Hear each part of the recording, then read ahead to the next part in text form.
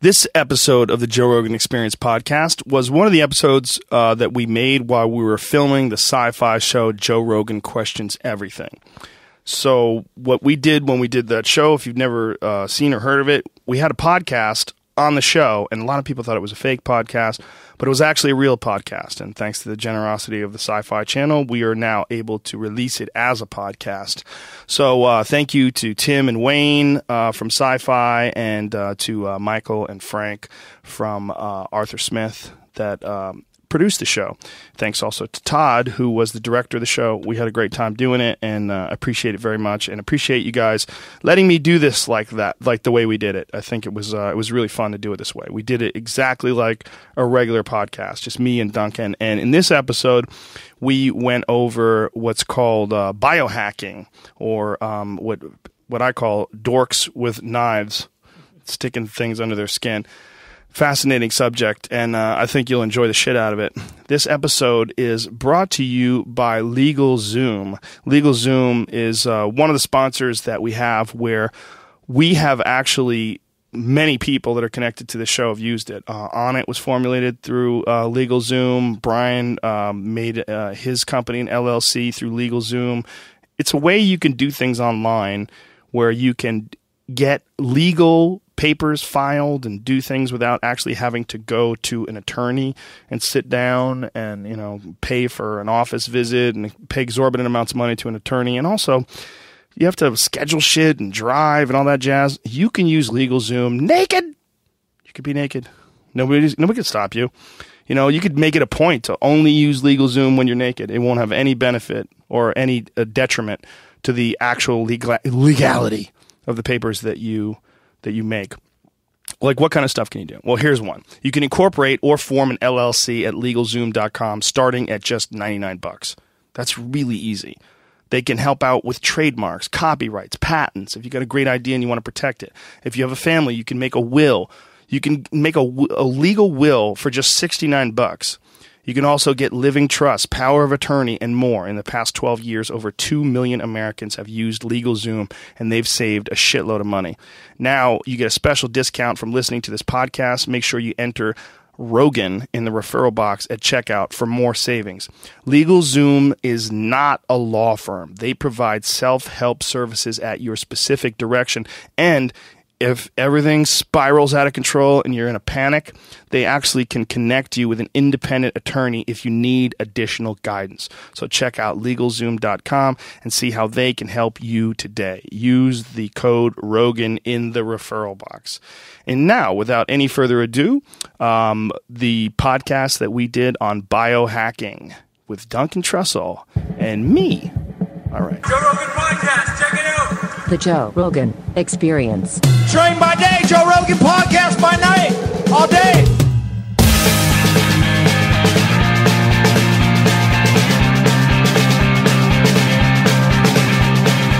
You know what's really crazy? That your your mom, after that, um, one of your stepdads was gay. Mm-hmm. Isn't that like an interesting sort of a, a, a snap back from that? You know, like she was probably around this crazy guy with guns. It's like, get the fuck, give me a gay Right. guy. Yeah, I'll take it. Yeah, that's right. what my mom did. My dad was like this really violent cop, and she married a hippie. Like when she broke up with him, my stepfather had long hair until I was like 15 years old. He had like a ponytail. He was a total complete hippie. Crazy. Stoner, architect, you know? Yeah. Yeah, well, who want, Snapback. You don't want to date Hunter S. Thompson. You don't want to be around that. Was that your dad, Hunter S. Thompson, sh- shooting shit? Yeah, still is. He is. He's, is he still traveling around in a, a, a like a, RV? a RV, just seeing the world? Yeah, he, well, now he's just no. Now he's like local in Alabama, but he like goes hunting deer still, and he like. I, I told you the fist fight thing, right? No. My this is the weirdest thing. My I was getting a ride. This is a quick story. I was getting a ride back from college with my friend Sean. He- recording all this? Yeah. my friend Sean is driving back to uh, was was driving to um, uh, Mobile where his dad lived, and on the way back, I'm riding with with this guy, and he's like, "Oh, dude, I forgot to ask. I want to ask you this: Is your dad's name Julian?" And I'm like, "Yeah, Julian Trussell." He's like, "Your dad assaulted my dad in a bar." my dad, my dad beat up my friend's dad from in college. when did this happen? This was I don't wait, the the assault happened year I think before me and this guy were in college together. But if you look at the probability of getting a ride back from college with a guy who was in Mo- Mobile, the probability of your dad having beaten his dad up, it's so slim. It's so slim that like my what are the odds that my that we both go to this liberal arts college of 500 students and the one other guy from Mobile, Alabama, his father had been assaulted by my father in a bar. Those are pretty small odds. Minuscule odds. Mm, it's pretty funny too that it would be your dad too, because you're like the opposite. Like I could never imagine you just assaulting someone. Even if somebody got really mad at you, you'd be like, "All right, well, fuck you, man," and you just like get out of there. Like Yeah. the idea of you assaulting someone is b- beyond comprehension. So the idea of your dad being this fucking hollow tooth bullet carrying savage beating the fuck out of your friend's dad. Yeah, getting arrested. Jesus Christ. He got arrested in the parking lot. Two cops took him down, and he got arrested. My dad came home from high school once with a black eye. Him and his uh, his uh, coworker, they were doing a business together, and the business started going bad. And they got in a fucking fist fight. And he came home, and I remember looking at him. You know, I was like sixteen or seventeen or something like that. In a black eye, I was like, "What the fuck, man? Are you done with this? Like Ye- you're still duking it out? At, Yeah. you know, forty, whatever the hell he old he was back then. Well, it's a classic. It's a classic. It's a classic man. it's weird. a classic man fought. Like it was like like think of Hemingway. That's what's just part of being a man is like you would get in some inevitable fist fight. And in those days, it seems like you don't get in a fist fight and there's lawsuits and legal stuff. It's just like the other guy accepts getting his ass kicked. You're the victor, and that's it. Or you get your ass kicked and you forget about it. That seems like the old way it is. Now, if you get in a fist fight, you end up in you know serious legal trouble. You get a- an instant lawsuit. But it was it used to just be like when you see elk smashing into each other in the wilderness. That's what it used to be being a man. You would just run into a guy and just start punching each other, and then that was it. Those were the days. Back in the good old days before writing shit down. once, once, once people had a few mistakes and started writing shit down, they were like, "Oh yeah, okay." Yeah, blame it on Hammurabi. Yeah, it's all keep- Hammurabi's fault. And that gentleman is his name is Sh- Sharid. Sherrod. Sharad. Sharad. Sharad and Lucas, and they're from uh, Grindhouse Wetware. And Grindhouse Wetware, first of all, greatest name for a company Amazing. ever. What does that mean? Uh, so it comes from the name uh, grinders. That's what. Get we real are. close to that. Uh, that's Thank what we are. We're grinders. Uh, grinders are kind of like uh, what happens when you mix open source hackers and body modification with a dash of transhumanism. Uh, and wetwares uh, is this, you know, your body. So we're literally grinding our biology. Uh, away. There- There's all these interesting uh, little names that you guys have for yourselves. First of all, grinders. We're grinders. We're transhumanists. We're there's a, a lot of uh, self-defining going on there. Well, uh, it's not exactly that we're self-defining. We're just guys who we really like technology, and we all grew up with, like you talk about, growing up with Hemingway and classic men, and we were all about fighting. We grew up, we were we were protected and sheltered, and grew up with Star Wars, and grew up with these stories about robots that could think and people that couldn't live any longer and had to augment themselves, and cyborgs. And well, cyborgs were really cool. We thought they were really cool, and uh, you know, I was in my uh, 20s when we hit the year 2000. First thing that happened, New Year's Eve, 2000, and after I got over the shock of nothing hitting the wall, nothing falling out of the sky, I turned to my brother and went, Where is my fucking jetpack? And that kind of summed it up. I felt that way. Um, my buddies felt that way. I didn't realize it, but there were a lot of people who felt that way. And uh, we were all broke, and we didn't know much about science. And um, somewhere along the line, like I guess in 2006, there was a kid in Arizona who realized that he could start stimulating his nerves with magnets, with magnetic implants. He uh, went to a body mod guy and got an implant done in his fingers. It started going from him to a guy in Europe. And then, like 2008, there was a, a lady Quinn Norton um, who wrote for Wired and wrote for some other other places, and she did it. She went out and said it was a bad idea. Don't do it. Um, other people started doing it. Um, okay, so well, let's let's back up. First of all, explain what you're talking about. You're talking about biohacking. You're talking about doing something to your body that enhances it, in, integrating, incorporating technology into your body. And the first guy was the guy in Phoenix that did the the Arizona rather. Was it Arizona? Was it Phoenix, Arizona? Yeah. Yeah. Yeah. That did the magnets in his fingers. Yeah, as far as we know, that's a first. He's the person. pioneer. First, as far as first document. And what what benefit is there of having magnets in your fingers? Like what what did that accomplish for him? Um, Besides making it easier to put your hand on a refrigerator. Easier. I think it's food. annoying. It would be an annoying moment. You, Clink. you're always getting stuck to things. Yeah. It doesn't. It doesn't exactly work like that. These are really tiny magnets. So you I've have got, magnets in your fingers. Yeah, yeah. I got like uh, got one around there, one around there.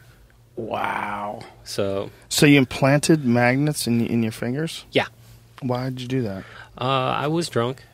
No kidding, kidding. Um, I uh, found out about this. I was really interested in everything we've been talking about. I ran into a childhood friend of mine who uh, got it done last year, and when he showed me what he was doing with it, I had to do it. What was he doing with it? it gives you the ability when you implant a magnet in a nerve dense area of your hand, when you are around an electromagnetic field, um, that magnet vibrates. And so you can feel that. Now, there's a property of our brains called neuroplasticity. Uh, when you provide a stimulus over a course of time, uh, like about six months, your brain starts adapting to it. It starts building something new. And uh, I was always fascinated, even as a child, of uh, the idea of having an extra sense. Not necessarily like ESP, but just an extra sense, or be Right. able to hear a sound that no one's ever heard before, see a color no one ever seen before. All those stories from uh, don't do drug pamphlets that are like, I can see the music, I can taste sound. That sounded amazing to me. So when I heard about this extra sense, I jumped at this chance to incorporate that in my body. But what extra sense? The extra sense of using these magnets to detect an electrical field or to vibrate during an electrical field? Is that what you're saying? Yeah. And what? How do you define an electrical field? Um, it's Power an, station? it's an electromagnetic field. So anytime that an electron travels in a straight line, uh, you have a magnetic field that's coming out kind of in a circle around it. Okay. It radiates around it. Right. Um, if you have a coil, a coil of uh, wire and electrons going through a coil, there'll be uh, kind of like a donut shaped magnetic field around it. So those sort of fields, they have property of uh, volume and a property of frequency. They vibrate at a certain certain frequency, and they're loud or soft. Like a transformer, like an electrical transformer Oh, outside yeah. of a building that hums? Absolutely. So if you were near that with your fingers having the magnets in them, what would happen to you? Um, I can feel those. Sometimes uh, when people would ask me at the beginning what it was like to feel this stuff, I would describe it like an effer- effervescent feeling, like bubbles. It felt like bubbles, and it was really interesting to me. It felt like bubbles? yeah. Like, how does that work? Um. Well, That's the weirdest explanation for something that, or description. Oh, it felt like bubbles. Every- Yeah. I don't even know what you mean say. it felt Every- like fizz? yeah, kind of like fizz. Like- like sea- Pop Tarts? Like Pop Rocks, rather? Sea foam, I think, is what he Sea means. foam? I don't know. Um. Froth, like dog froth. Every person that has the implant uses completely different language to Yeah, describe it. it's been really fascinating to run into other people with implants and talk about this stuff because we are describing the same phenomena, and it's like you're asking me to describe a color that you've never seen before. How am I going to describe squant? Uh, it's squant. Well, is that blue? No, it's squant. Is it purple? Uh, no, it's like uh, tasting an orange. Oh, so it's orange. No, Is there, any, is there any negative repercussions to having these magnets installed in your body? Um, well, the first time that someone actually said something that made sense as uh, far as a negative thing, I saw a speech by Quinn Norton where she said, "Hey, don't do this. This is a bad idea." Um, hers shattered. What shattered? Her magnetic uh, implant shattered. Shattered. Okay, so when uh, a magnet receives either a lot of heat or a very strong force, uh, it loses its magnetic pull. But more importantly, these magnets are made out of rare earth elements. Mine's like a cobalt uh, alloy. Those things aren't really healthy to take inside your body if it shatters. So this is parylene coated. Some people use silicone. Um, crazier people use hot glue. Um, and So it's essentially it's it's poison. You're you're dealing with a toxic yeah, element in your so body. when if it it's not covered. when it's it- not if it's not covered. covered. when it burst in in her, she actually consulted a doctor, and the doctor was like, "Well, here's the thing: we could go through all the trouble of pulling it out, but it's so tiny and it's so little that's really not going to bother you." And so they left it in, and over the course of time, that magnet pulled itself back together. She never got the sense back, but it pulled itself back together, Ew, it's and alive. it didn't harm her. Creepy little creature if you guys are interested, moving around inside of her fingers. How'd she break it? What'd she sl- slap a cop car or something? How would you? How did she shatter? she the didn't magnet? say. Furious masturbation. I have no idea. just furious, yeah. possessed, eyes rolled back, one shoe on, screaming like a like a tiger caught in a barbed wire fence. Hopefully it wasn't. Clank. Yeah, it could be. I Could think very that's well what be. If I had to guess, But that usually doesn't happen with with the magnets this size. Or I don't have a vagina, so I wouldn't know. How could you know what would happen when a woman's in the middle of a furious masturbation session, completely magnet shatters. on uh, thick fucking half a pound of meth, just slamming it home? You never know. Are you asking how can we imagine what happens? Yeah, if how else does a magnet get shattered? That's just as good a guess as any. Yeah, like maybe her orgasm was so strong it emitted a magnetic field. that Methed up, horny as fuck, maybe on top of an old truck in the middle. I'm just coming up with a scenario. How do you? Sh- th- these are under these are under your fingers. No, that's that's a lot larger. But if you guys are Whoa, curious that's a about, cock magnet. yeah, yeah, there you go. So Do any something dudes- for your cock. That's that's a neat, neat for uh, you know just in a cleaner way of expressing this question. Um, are there any uh, gentlemen perhaps that uh, have these magnets put in their nether regions? I have no idea. I think, I, think- don't know. I think so. It's been spoken about. It's been spoken. It's been spoken about. Has It's it been, been spoken, or has it been written on our website somewhere? Uh, it's been spoken about, and, and usually Mm. The closer you can get that to your face, Oh, seriously, sorry. the better. Just Usually- pull it right up to your face, usually uh, or move your chair a little. yeah bit. when it comes to stuff like that, uh, people talk about it and Right. then and then don't do it. Uh, oh, so they're saying, "Hey, man, I've been thinking about putting magnets in my cock," just so you start thinking about their cock. Well- Is that what they're doing? That's what they're doing. And, and then you're forced. Hey, you know, Mike, he's going to put magnets in his cock. You're like, why are we sitting around talking about Mike's cock? There's a lot of shit to talk about in the world. But Mike tricked us. Mike brought up putting magnets in his cock. He knows how to reach you guys. But- okay, it's, you can't just talk about sex. That's too easy. No, he has to talk about what what do you guys like? You guys like putting magnets in your body. So he starts talking about magnets in his cock. but people already do that with like Absolutely. I'm saying it totally serious. This is I figured it out. I'm I'm like Kojak or some shit. But uh, people already do that with body modification. You know, they Yeah, they do, get right? Stuff pierced. I've seen allegedly seen some stuff online of uh, just horrible ideas. You know that someone followed through with with Horrible, their like the guy who splits his cock Oh, in half. The guy. Usually it's only one guy. That's like saying Bigfoot's only one thing. There's a lot of Bigfoot. You're saying more than one guy's flayed Oh his yeah, a cock lot in of guys half. have done it. Yeah. it's Why super- do you do yeah, that? Super common. Why do you do that? It's supposed to feel phenomenal. It's supposed to. Doesn't it fall apart when you're having It's like a sex? hot dog that's been sliced and thrown on a grill. I That's what it hear looks that like. it's kind of like shooting like a shotgun. Oh, Stanhope Jesus says that. Christ. Wow. Jesus Christ. Yeah. Don't, I, I think you guys. I are- think you caught your dick and then you just tell everybody it's awesome. You don't want to admit you're an idiot. Is this like when they told me like we were going to have a oh, punch yourself in the face contest and I had to start first? Exactly. Oh, okay. Exactly. But It's preposterous. You, you guys are, are, in a way, what you're doing is you are turning yourself into a lab rat with the intention of gaining a kind of low level superpower. Like a, a really, really low, on the scale of superpowers, the ability to feel EMF fields. Is that what they're called? Yeah. E- to feel that that's a really low power, but it's still you have more superpowers than me. I can't feel that. You're still ahead of the majority of your species, but y- there's a risk to this. You're risking your life so that you can feel what it's like to be a refrigerator magnet. anything that you put in your body, you risk getting sepsis from. There's a risk of sepsis. So, yeah, there is a risk. Um, What exactly is sepsis? That sounds like septic. Is that related? Yeah. What does it mean? It means some sort of infection. Yeah. And Basically, bacterial infections of any sort. So, I've had a buddy who's a, a surgeon who's told me, hey, don't do this. This is a bad idea. Right. Good for you. You got that done, but don't put anything else in your body because any implant can Go turn, septic. can go bad. Yeah. Can go bad. I got my nose pierced in Venice Beach when I was 15, and you should have seen that, man. You Swell sh- up? Oh my god, You- it was Gross? just so nasty, man. My my nose got swollen. I pushed. I remember pushing against it in front of the mirror, and just like the amount of pus, like where you get oh. proud of the amount of pus coming out.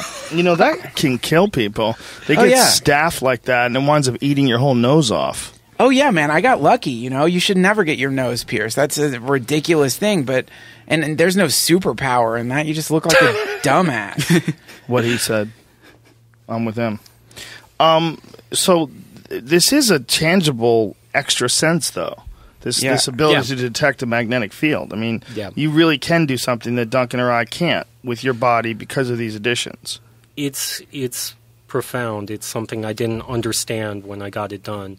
Um, what started out like feeling bubbles, um, now like uh, I'll go to Home Depot and I'll be feeling stuff because it's oh my god, so fun to feel stuff. Feel Like, an what, are you, extra what are you feeling? Um, mainly magnetic stuff. Some freak hanging around Home Depot, touching all the stuff. oh my gosh, it's a What is drill. this Oh guy wow. doing? Um, no, but Some uh, guys over there with just his pants down by the lawnmowers. it's a magnetic field. Oh, oh, oh.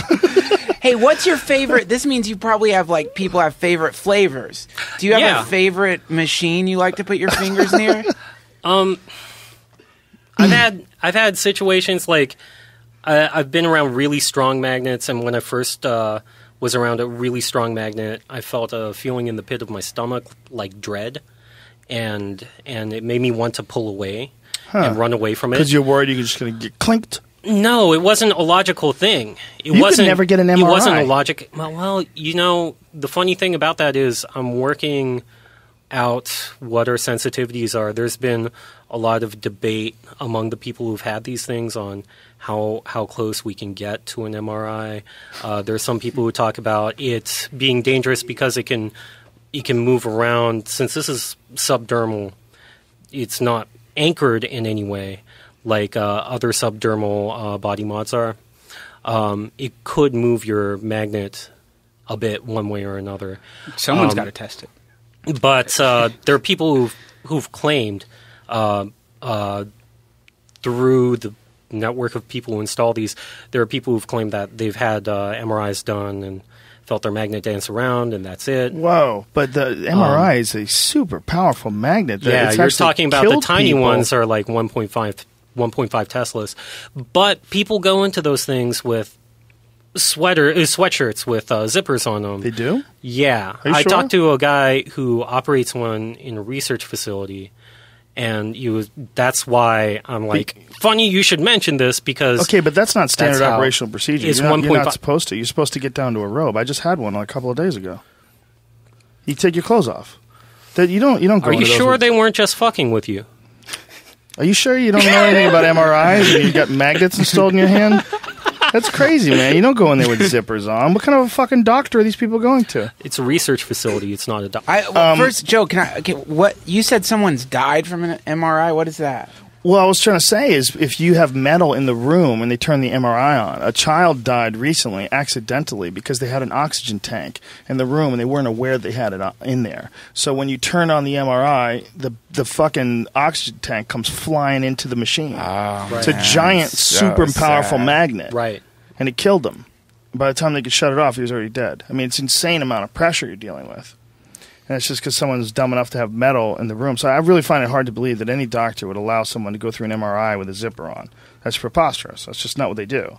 So I, I question who you're talking to. You're talking to crazy people lying about putting magnets in their dicks and wearing zippers into MRIs. You gotta hang out. You gotta hang out with a higher quality group of humans. A higher quality group Yeah. of humans. But but there is there is uh, magnetic shielding because you know people that have pacemakers or other implants. Oh, they put like something over you Yeah. to stop that, like Yeah. a suit or something like that. Yeah, Huh. That's interesting. But you're not doing that with your fingers. You just let them tingle if you get in there, allegedly. don't know. That's And- something don't you really It's- should be careful about. but, but I think I think I think it's it's something that should be tested. I think if we've Yeah. even even if you're not, I, I'm not advocating that someone with this in their finger go in and, and test it. But you know, even if you can uh, replicate the consistency of human and put uh, like a human flesh, Right. put the magnet in, and then expose it to something in like 1.5 Tesla, just to see what happens. Now you have this, w- which you've already done with the the magnets. What is what's the next level thing? Obviously, everything progresses. So what it- what are So- people considering doing now So um, or doing? Well, a lot of people are building devices that interact with the magnets. So uh, you can think of it as uh, because it interacts with electricity and magnetism, it's kind of like a really low level input. You can input anything. Uh, so if you've got an external device that's measuring, say, the amount of CO2 in the room, you could hook that up through a coil around your finger, around your, your magnet finger, and have that information transferred into like pulses or how much it vibrates or whatever. So you're literally using an external sensor to to give you data, any data, any data you want, and have it transfer that to the magnet. And Whoa. after after some training, it becomes intuitive. So, uh, you know, some people have done it with mainly sonar and thermal, like a like a thermal laser. Now I, I know that people have talked about the uh, ultimate. The, the the ultimate future of incorporating technology in the human body is the ability to take the mind and download its consciousness somewhere into uh, an artificial creation. But somewhere along the line, there's probably going to be some steps, right? There's, and you guys are kind of taking like one of these steps, like by putting magnets in your body. When do you think you're going to see someone who puts a cell phone in their body? Is that coming? Is it going to be like a neural interface that allows you to get online with Wi-Fi? Well, we're somewhere towards that. That's something else we're working on. So, um, our CTO, his dream, the thing that brought us all together, wasn't magnets. That was that was ancillary. He It was love, right? Yeah, well, of course, it was love because we all kind of knew each other and we all had this love of the future and we all kind of were told to sit back and let Motorola take care of it. Um, and none of us wanted to deal with that. Um, but he wanted to build something that he, he believed that we have the ability to do this stuff ourselves. We don't have to wait for some big company to do it. We can do it cheap. We can do it ourselves, design it ourselves. And since we know people who can install magnets under our skin, why not an implant? Why not Like what something? kind of implant? Well, um, the goal was to have something. So uh, basically, what it does is uh, it, it's a it's a rose compass uh, that electrically stimulates you. It's it's probably here on your calf, and it's always pointing north, so that you always have an intuitive sense of where north is. Now, if you've got if you've got the chip talking to some external thing, you could hook it up to a map system like Google Maps and be like, "Yo, take me home." And then you have an intuitive sense of where home is always. What? That's Wait a minute. What? Hold on. Wait, back that up. you have a compass installed in your body, and the bo- how does it run? It just runs on the magnetism that's in the compass. It's all mechanical. There's It's no actually, electronics involved, uh, right? It can be powered wirelessly, so it's it's got like a wireless coil in it. And so it's powered Yeah, somehow by yeah. an external. yeah, Okay. yeah, and so you can like hover it over it. That's that's what the the the dream is. And what is the method of communication to the mind that explains where nor- north is or how to get home? So it's uh, in the same way that you're using a really simple system in terms of the magnet. You're not using any magic; it's just vibrating. For this, it's just applying a very very small amount of electricity, enough that you can there's there's a sensation. So it's not like blaring and it's not shocking you, but there is a sensation. Is this completely theoretical? The idea of being able to find your way home, or is there We're- any? we we have uh, parts of it parts of it built and actually when we came together and we had that idea we said okay this thing has way too many features so what we're going to do is we're going to build uh, we're going to build an implant that's a kind of a halfway step to there so that we build the ground uh, towards it and that's actually uh, it's actually this thing here Wow. and so what this thing does is it actually it's a, a quantified self uh, health metric, and this is uh, this is just going to take data. You can check this out. This uh, takes medical data and uh, sends it to your phone. Uh, so if you can imagine having maybe six months worth of uh, of your medical data, and it's your data. It's not anyone else's data. Your data, um, and you can do whatever with it. Uh, and so we wanted to kind of make, do do a halfway project so that we get familiar with implant technology, and then move towards really cool shit. The I, I, I understand um, the idea of a compass. I understand that you, you could power it somehow. But what I don't understand is how the compass is communicating with your mind. So, it, in the in the same way that uh, the nervous system is is communicating with your mind, it's not uh, it's not sending it wirelessly to your brain. Right. There there are things in your body that's communicating to your nervous system that then goes to your mind. Right. And so you're literally uh, you're literally making a new mini organ that uh, or another part of your body that interfaces with your nervous system through electricity and then You're just saying it's like a vibration or something. It's like a low level pulse or something. Yeah, right? it's- it's a low-level It's a- pulse. It's a Yeah, I feel. understand that. I understand that you would get a, a sensation, but I don't understand how it could be directional. I don't see the mechanism well for that. well it's it's a it's a rose compass right so what does a rose compass mean? it's uh so it's got Like a it's- clock. yeah it's got uh, north south east west and then like northwest Oh, that's called a rose compass. Yeah, Okay. yeah. Oh, so it's a compass. Yeah, and yeah, it's it's, it's a compass. Okay. And so uh, let's say let's say I'm facing north, Uh huh. the stimulation will be going this way, right? But if I if I turn, it's going to start. It's So to start stimulating. It's directional It's in directional. that wherever the north is, it gives a signal Yeah. pointing where the arrow goes. Yeah. So the arrow it not just doesn't just act as a beacon; it somehow or another like sends a charge off in that direction. Yeah. And then Like- it like a- becomes intuitive once you start determining what that signal means.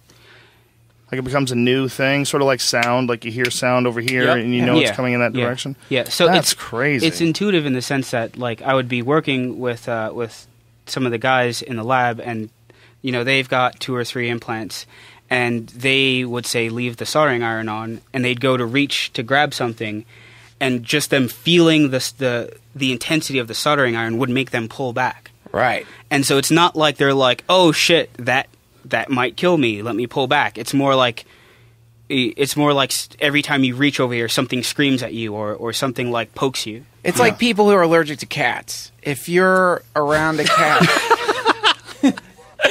you know, like you, that's a kind of superpower. A person who's allergic to cats can walk into a house and be like, "You have cats, right? You have cats." They can sense the cat because they start yeah. sneezing and especially coughing. if you're dirty and you don't clean your house. yeah, well, generally people who have cats. Cats well, are no, all, they're gross little creatures. pretty filthy. When you walk into a house and you get that first waft of the Yeah. cat litter box Oh. mixing in with old bananas. so nice you have a box of shit in your house. Yeah, a nice dirty box of shit and a, and a filthy witch animal want peering out at you from the Yeah, wall. ready to smother your baby while it's sleeping. Suck the breath right out. Are you You're guys going to me on destroy cats, cats? That's awesome. Um, d- I think this people like you make me love existing today. Because the idea that there are human beings at this very moment and I picture you in a basement in in basements with straight razors shaking cutting themselves open and just putting chips inside of their No, body. they Well- go to doctors well- and have all well- this done, man. well, Come on, wait, ruin a fantasy Well, leather straps in their mouth Bite down on a twig. n- now, well, You guys are both right. You're both kind of right. See, yeah, you don't all go to a doc. What doctor do you go? to? What doctor do you guys go to? I- I Dr. know doctor. I- I- Doctor Evil. Doctor Evil. And, and and I imagine that when before you guys put the magnets in, you're snorting oxycontin or like you're definitely on painkillers, right? Do well, I got my implant done. I got it done with no pain meds, and uh, oh my gosh, um, it was a rush. I, I I never had that much. That That's much. a new uh, meme. Dude is standing there with a razor blade, and the photo says, "I got it done without painkillers." And oh my gosh, what a But rush! I, I don't. It was it, it was it was something else. The amount of endorphins you got, it's it's trauma. It's trauma. Your body's going through trauma, and your body releases all that endorphins all at once. You you Yeah. you definitely you don't remember the fact that you just got hurt. Go into shock. I, I don't. For a I don't moment. advocate people doing this. Uh, To I don't. I don't advocate in the people basement, opening no. themselves up at all. Uh, uh, That's not going to stop anybody. It's too late. Right now, there's already 700 teens with exacto knives putting their dad's wristwatch. Bandana in mouth, tugging. well, but y- kids, if you're watching this, slice seriously, don't. kids. Don't. It never ends well. Someone already tried it, and they're kind of fucked up because of it. So Who's that? Who tried what? Um, uh, so one of the people that pioneered this, uh, this, this uh, lady out in Scotland called Lepht Anonym, she uh, did this talk called Cybernetics for the Masses, um, where she advocating, you know, Im- implants, and uh, she did it herself. She she sterilized. Uh, what did she use? She used. She uh, used vodka. She, used used vodka. vodka. and hot glue to coat the magnets. She, uh, in her speech, she told everyone, "Hey, I don't care how hardcore you think you are, get a spotter. Yeah, and because you and- will pass out." And that that to me that to me she also used a vegetable peeler. Yeah, and not a that to me Hey. is not that to me is not Yeah. is not DIY cybernetics. That's irresponsible. That's a and crazy that's bitch. really I can tell you that when you told me her name. That's a chick. You don't leave it home with your keys. By the, I've seen Okay. that speech Lepht Anonym Yeah. gave, and I I emailed her directly after the speech because I wanted to get her on my podcast. But she, first of all, I didn't know she was a she because she's androgynous. You can't Right. really tell. But she looks like she fell out of a Philip K. Dick novel. like she is a, you, a really fascinating being. Like it's a really curious being, and she seems kind of nonchalant about what she's doing. And it reminds me of you guys a little bit because you guys seem to be brushing off the fact that what you're doing can make it so that in 20 years you are just basically a trembling drink machine. Somebody could put a cocktail in your hand and mix it up because you have some kind of severe neurological damage from the weird chemicals in your magnets going into your brains. It could be true. You're right. You're right. Totally right. We probably would be dealing with something worse than a Parkinson's-like state. We Can you get up on the mic, man? Sorry. That's okay. Um, you're right. Um, there are risks. Um, when Lepht gave that speech, she gave it with the intent that people out there would see her process and go, "Oh my God, you could do it so much better. You could do it so much safer."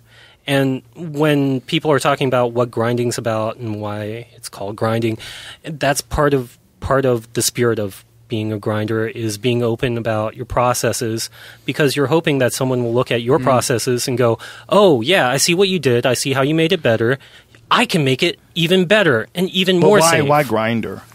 Um, It, you know, so it, it originates from uh, a comic book called Doctor Sleepless, and uh, there's a God, you guys are dorks. no, they're not dorks. It's awesome. I want to be a grind. It's yeah, not a bad thing, Oh. but you guys are dorks. and so there's there's not a, dorks. It's not a bad thing. I'm these a dork are too. these are pioneers. You're a dork too. How dare you? You're a dork. I guess I am a dork because you right read now you read Walking Dead comic books. You're a dork, Oh man, that's and intense. you tell me I have to That's read them. intense, man. Dude, you got to read them. He, he's a dork. that does There's nothing wrong with it, man. There's nothing wrong with being a dork. Don't be scared of being a dork. Okay, well, fine. I'm a I'm a dork. dork too. I'd rather be a dork with magnets under my fingers than not. I'm gonna be a dork. I'd like to be a dork with a low It's level. not bad to be a dork, but the fact that you guys call yourself grinders out of a, the, a comic book, that's clearly yeah, pretty dorky. Yeah, yeah, it is. But it's not bad. See, uh, you embrace being a dork. I'm, I, I think the term dork is a dorky term. No, it's an awesome term, and that's what we were when we were out there looking for Bigfoot. We were two dorks. You're right. Look at two dorks looking for Bigfoot. By the way, having the time of our lives with fellow dorks. There's nothing Yeah, wrong with being it's a not- dork. yeah, there's no, no- disrespect intended. no disrespect. It's it's you know you're not taking yourself that seriously. You're naming your your whole group after comic books. Sure. There's nothing wrong with that. Yeah. a, a part of a part of what we do is um, is using we're still using the scientific method. We're not just like Sure, yeah. Well, it, it, we're, we're what we're doing is we're putting our method out there for it to be criticized, so that it's safe in in our community. right. And we're it's not uh, you know cut yourself open with vegetable peelers, and it's not it's not have it's not have the method be held up by the FDA for 50 years. It's about knowing what the risks are as an individual and deciding whether to take it or not. now that piece of plastic, silicone, whatever it is, what what is that exactly made out of that you showed me earlier? The chip. Oh, that's that's What is a that made out of? regular circuit board. There's all sorts of bad shit in there for you. Yeah. What was it made out of? Like, do you know? fiberglass, Yeah. copper, metal, plastics. Where would you put that? inside a uh, silicone silicone shape? There's a bioproofing process. Like a sheath? Um, Like a condom, silicone condom sort of a thing? more like a uh, Something more take- secure. You take a CNC, you make a CNC mold, uh reverse. So this is an unpopulated board because all of our regular prototypes are being tested on, on who? on on for function functionability. Yeah, like, Functionality, like heating, Functionality. heating it, heating it, uh, crushing it, uh, exposing I it see. to all sorts of crazy. once we're confident that we have like something that can handle the stresses that we think uh, someone who would have something in it for a year which is our goal like get it inside someone for a year and take it out um, then we're testing bioproofing bioproofing is doing a pressure injected silicone mold oh!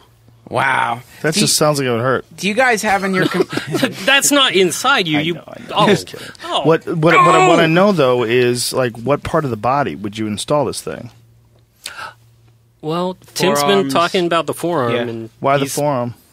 because it would be cool to look down at your arm and see LEDs lighting up underneath Wow. your skin. yeah, So that's part of it. You guys aren't just pioneers trying to redefine humanity. You just want to have shining lights under your skin. And Well, they want to yeah, capture we- some dork pussy. Let's be honest. We did. I think that we did want our a- jetpack. many different types of. this is our jetpack. I But, bet, man. If you're you're a super baller in the grinder community, if you walk around with a glowing implant under your arm, Yeah. Yeah. Do you Yeah. guys have a uh, in your community somebody who you know will put anything under their skin, like somebody who walks around jangling with metal pieces and lights? Is there is there a person who's got the most implants? I Uh, don't know. I don't. I don't think we've reached there yet. I don't what's the most incre- like the most extreme implant that you're aware of? Maybe Rich. Yeah, probably. Uh, Fucking rich. so, Rich. What's going on with Rich? so uh, he's got uh, he's got uh, two magnet implants in his finger, and he actually has um, he has a coil, like a huge coil that he uses to uh, to be able to like hear radio stations and all sorts of craziness. They're basically implanted earphones. Wait a minute. what- He has so he has magnets on his In his ears. In his ears. His ears. He has magnets. Yeah, Yeah. So he's magnets in his fingers in his ears. Is that what you said? yeah. He's got um, he's got like two in his ears. His Uh, fucking yeah. ears, man. That's Yeah. scary. Yeah, yeah. They'll you He's- letting the dude operate on your ears? he's intense. Magnets He's in intense. there. And so, what's the coil? The coil is uh, like uh, any coil. It's stimulating these magnets, makes a magnet vibrate. So he hooked up this coil to uh, a little amplifier, and that amplifier is sending sound through it. Wow. Like uh, your standard speaker, right? Right. You send sound through a speaker coil, makes a magnet jump back, or makes a magnet uh, force a coil back and forth, Yeah. and you make sound. So he's using this, uh, sending electromagnetic waves to uh, the magnets in his ears.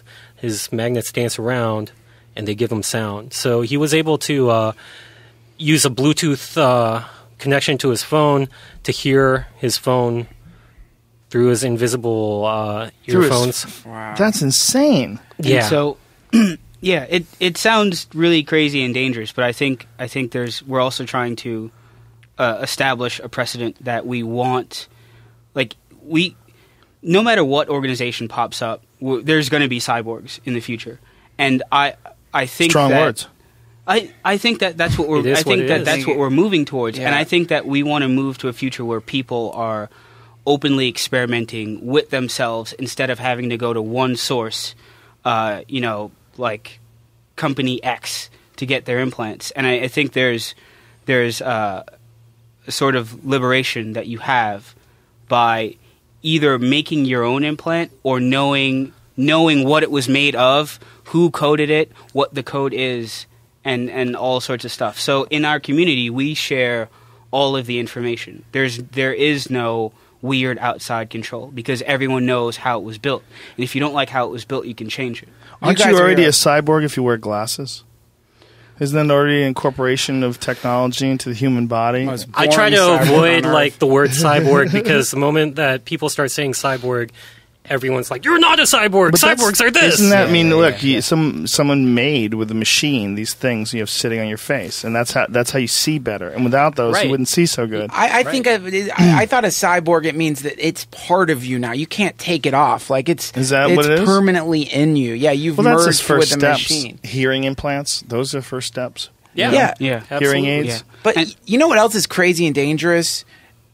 L- learning to build an airplane. Like think of the Wright brothers way back when when they were telling people, "We're going to try to make a device that makes us fly like birds." Frightened, terrified people like, "Are you out of your mind? You're going to fall. You're just going to fall to your death." And it's true. There's an implicit risk whenever you're trying to create some new invention. And if you wait for the FDA, if we sit around and wait for Apple or for Microsoft to get this stuff passed, it is going to be 50 years, 100 years, because we need you guys to turn it. A few of you are going to have to turn into the Toxic Avenger. A few of you.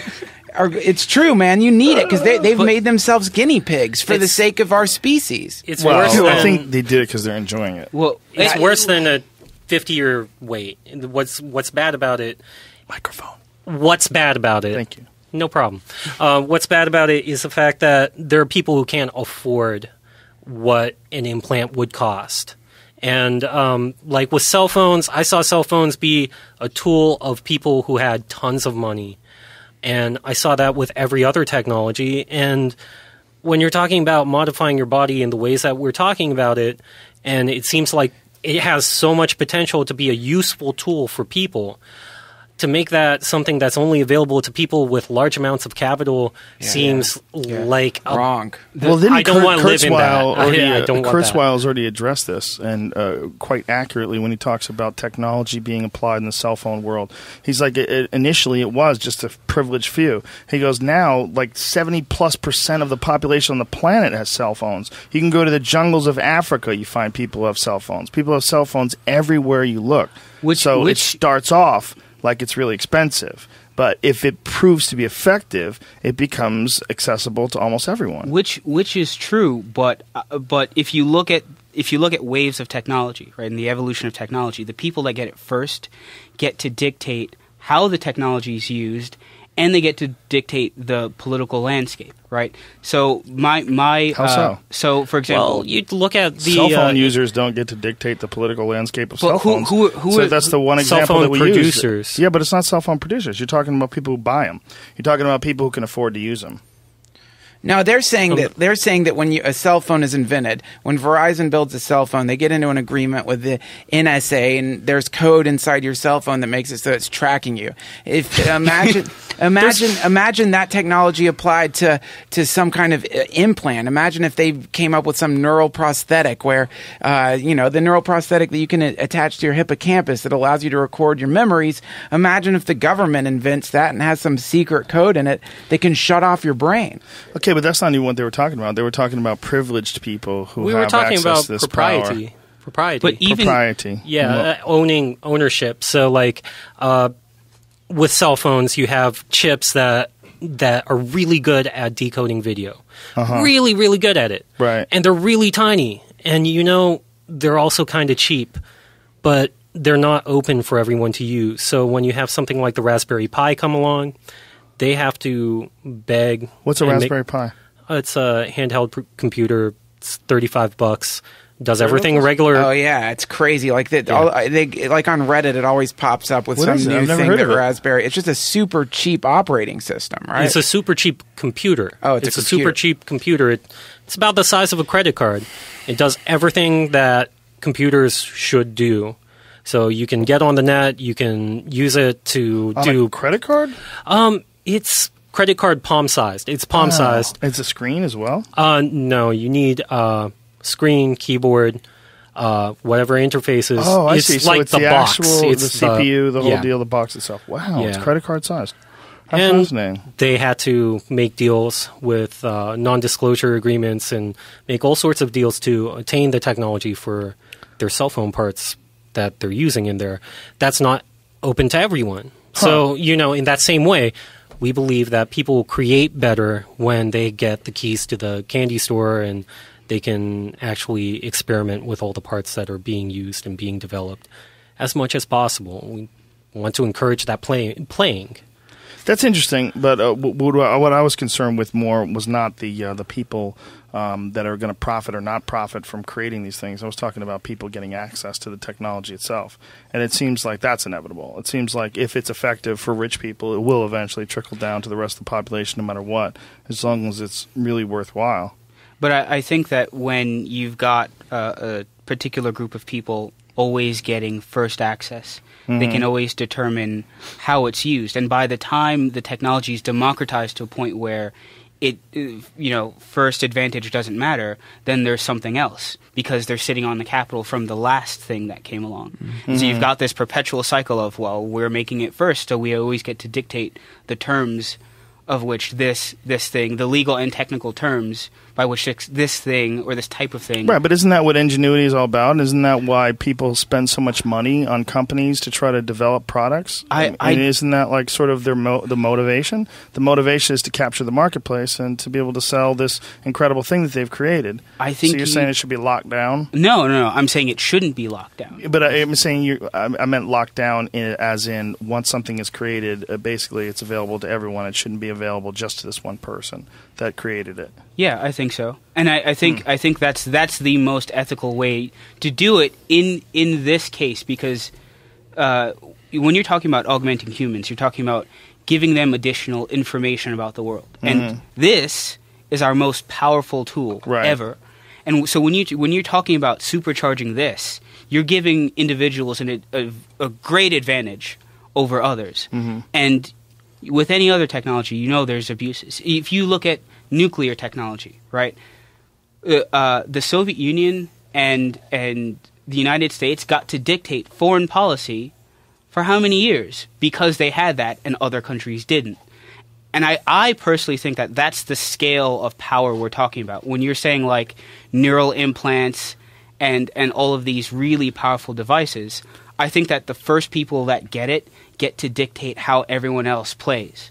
So you're essentially what you're saying is that these new technologies are going to be so powerful that once people get control of them, they'll literally be able to enslave great groups of people who don't have them. They'll have power over them. They'll have advantage over them, over them, mm-hmm. and they'll decide or could decide to use that advantage to control, to monopolize the use of these technologies, monopolize the use of these human improvements, these technological human improvements, and they'll just hoard them all themselves. And yeah, I mean, and not in any like. But has anybody ever done that any- with anything? Technology? Has anybody hoarded technology ever for themselves? It seems like I mean- if you could sell it, people sell it. Well, it, it never it never lasts long. But what I'm talking about are the ram the the social ramifications Right. of of people trying to hold on to that Yeah, for whatever. Because, for example, everyone every army today uses guns, Mm-hmm. but we're still reeling from the cultural effects of one group of people having guns and another group of people not having guns. Right? We're still reeling from from you know countries hating each other and and ethnic tension and whatever. So it's not it's not so much about the technology. It's about this is what happens when you when you try to lock it down. Eventually, it's going to spread, but you're causing damage by trying to lock it down. Right. That seems to be, uh, I don't know. It's a, it's a funny argument. It's an interesting argument, and it gets into uh, a social engineering or socialism uh, point of view, where you got to go. Well, how do you decide to distribute uh, technology? Then how, there, there how are does it- companies it like handled? like Adafruit, uh, Adafruit, SparkFun. They're open source and they still make money. Well, there cer- it certainly is. I mean, I mean, that's uh, if any place uh, embraces open source, it's the internet and technology, and you know, of course, Linux and Unix. Sure. And there's always been uh, an, a whole open source community online, but to dictate that that's mandatory, that's where things get sketchy. Uh, I You know what I'm saying? I, I want, I want. I'm not saying that I don't want a future where corporations don't sell this. I want people to have options. I, I to- don't I- I want. totally understand what you're saying, but it it goes against every other way we manage innovation. We the way we manage innovation is people get copyrights, and trademarks, and you create something, and that becomes you, and then you own that, and then you can sell it or license it out to other people. What you're essentially saying is that when it becomes to a human benefit, now no longer do you have the option. Now you're going to distribute it freely to everybody. And I, I say like you're you're you're regulating like in a way that has never been regulated before, and that's a socialist idea. And it's interesting. It's interesting. Um, it's debatable. Communist I mean. It's interesting and it's I- debatable, but what you're what you're talking about is uh, sort of a, a mandatory type of a thing. Well, I, I, I don't want to. I don't want to say, "Hey, Google, you have to make this this implant open source." What I'm saying Right. is, I want a future where you can either get Corporation X or you can go to the open source community B.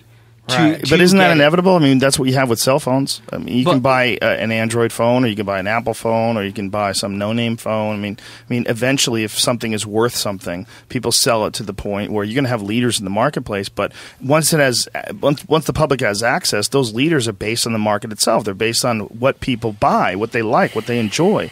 You can't monopolize if someone when if if everyone's selling a a similar product and one person's better, that's the one that succeeds, and Yes. that's that's sort of where we're at because of the fact that we don't just say when something comes along like hey everybody has access to this. Fuck patents. Fuck trademarks you know that that's literally against the way innovation has spawned human beings to this point in the first place But it, but there's other mo- there's I think there's other motivations than capital. I think that what that sure. the motivation in this kind of technology is so much bigger than money. What you're talking about is achieving uh, the ability with technology to produce emotions or to create psychic states. Mm-hmm. Uh, that is a an amazing thing, and that's an amazingly powerful thing. So so's calling people yeah, but I, I you know what? I'd rather have an orgasm helmet than a cell phone. but If it's I- look it's not either or Well, I'm it's just- not either or. but What I'm- I'm, saying is, cell cell phones didn't get socialized, and this technology shouldn't either. Well, I don't think they're saying it should or shouldn't be socialized. I'm just th- they're Well- they're they're trying to make an open source version of this stuff. I don't Okay, think but if that they- if they Motorola is going to do that for us. Yeah, I don't think they're who going the to do that fuck for us. Knows what they're doing.